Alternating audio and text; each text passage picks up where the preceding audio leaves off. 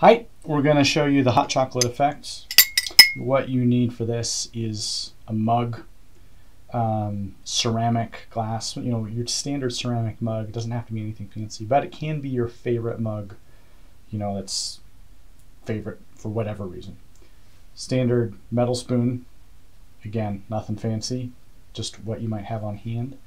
And then hot chocolate, or once you see this, you might have other ideas.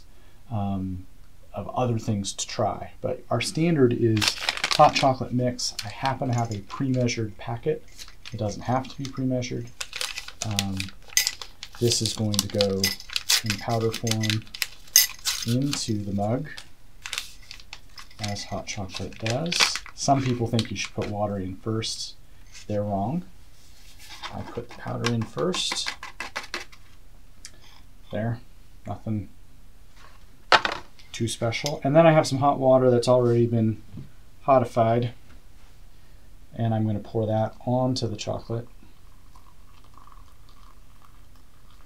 And I'm just trying to put it on there like I would for making hot chocolate. And then I'm going to stir it.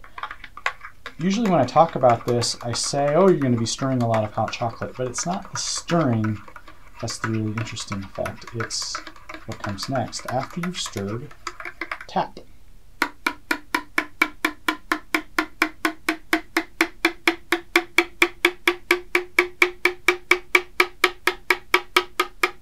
And listen.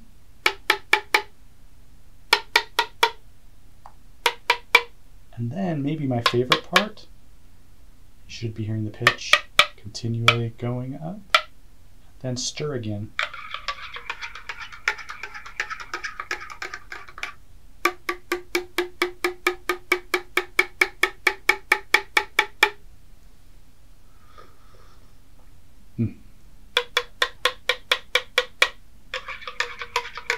Stir.